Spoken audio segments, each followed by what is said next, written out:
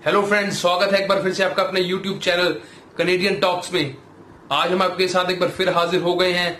हम बात करेंगे दो बड़े मुद्दों पर, एक तो वैक्सीन के ऊपर और दूसरा आज बात करेंगे जो हम लगातार करते हैं कि केसेस का आज किया अपना तो सबसे पहले मैं बात कर लेता हूँ वैक्सीन की। जो कनेडा की पेस चल रही है वैक्सीन की, वो बहुत बेहतरीन पेस है। पॉइंट एट परसेंट लोगों को रोज वैक्सीन लग रही है। अगर इसी पेस से चलेंगे तो 19 जून तारीख हमारे सामने आ गई है 19 जून तक। कनाडा में फ़र्स्ट डोज सारे कैनेडियंस को मतलब कि मिल जाएगी। ये बहुत अच्छे सिम्टम है क्योंकि हम जानते हैं कि वो चाहते हैं कि पहले अपने कनाडा को वैक्सीनेट करें, फिर चीज़ें खोलें।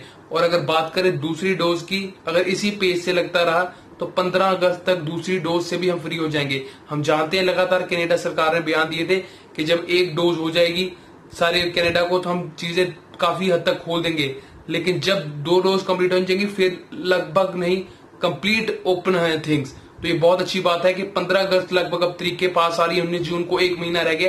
ये हमारे लिए बहुत अच्छी बात है, क्योंकि ट्रेवलिंग भी शुरू हो जाएगी। और इसके साथ मैं एक और अपडेट आपको देना चाहूँगा कि जल्द ही जून में खबर आ रही है कि कनाडा और यूएसए के बॉर्डर्स खुल सकते हैं। सबसे पहले किसी भी कंट्री में खुलने से पहले ये सबसे बड़ी बात है कि जब इनके बॉर्डर्स खुलेंगे मतलब हमारी भी टर्न आने वाली है। तो ये ध्यान आपको रखना होगा, हिंदुस्तान से पहले हम उधर भी ध्यान रखेंगे यूएसए की खुलेगी। हालाँकि वो खबर आ रही है कि वो तैयारी चल रही है कि यूएसए के साथ बॉर्डर्स खुलने वाले हैं। तो ये बहुत बड़ी अच्छी अपडेट है। और हम दूसरी अपडेट पे आज मूव ऑन करते हैं।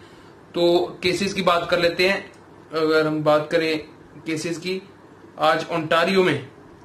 जी हाँ ओंटारियो में कल 2000 समथिंग केस थे और आज हम बात करें, सिर्फ़ 1616 केस रह गए हैं।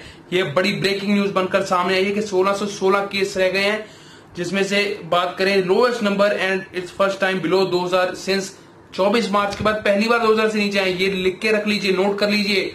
2000 से नीचे कनाडा ओंटारियो पहुँच गए। ओंटारियो जो सबसे खतरे वाली स्टेट बनता जा रहा था, खतरे वाला प्रोविंस बनता जा रहा था। अब उसमें केसेस कम होने शुरू हो गए ये बहुत ज़्यादा राह खोलता है। हिंदुस्तान में भी केसेस कम हो रहे हैं। कल दो लाख अस्सी हज़ार थे, दो लाख साठ हज़ार थे, माफ़ कीजिए। आज उससे कम आएँगे। वीएफएस के खोलने के करीब हम शायद चले जाएँ। जून में शायद बहुत सारी खुशखबरियाँ हैं, लेकिन हमें लगातार सोशल डिस्टेंसिंग ये मास्क डालना भूलना नहीं होगा, तभी केस कम होंगे। लेकिन इतनी बड़ी जो छलांग ओंटारियो ने लगाई है, सोलह सौ सोलह, सीधा दो हज़ार सत्तर केस से सोलह सौ सोलह पर आई, ये बहुत बड़ी बात है। और ये इतना अच्छा डाउनवर्ड ट्रेंड बन चुका है ना कि हम जितनी इसकी तारीफ़ की जाए, उतनी कम है। तो ये थे आज हम की हमारी दो बड़ी अपडेट कि वैक्सीन के ऊपर हमने बात की कि कनाडा पंद्रह अगस्त तक लगभग अपनी दोनों डोजेज दे देगा पूरे कनाडा को, जो कि बहुत बड़ी अच्छी अच्छी बात है। और दूसरी ओंटारियो में केसेस कम हो रहे हैं कनाडा में केसेस कम हो रहे हैं और हिंदुस्तान में भी केसेस कम हो रहे हैं। लेकिन आपको एक मैं बात लगातार कह रहा हूँ कनेडा टॉक्स को आप सब्सक्राइब क्यों नहीं करते? कैनेडियन टॉक्स को सब्सक्राइब कीजिए। क्योंकि इस पर आपको अपडेट आती रहेगी केसेस की आने वाले समय बहुत बड़ी बड़ी चीज़ें इस यूट्यूब चैनल पर आने लगेंगी। लेकिन आपको उसके लिए इसको सब्सक्राइब करना होगा। तो धन्यवाद। मिलते हैं आपको कल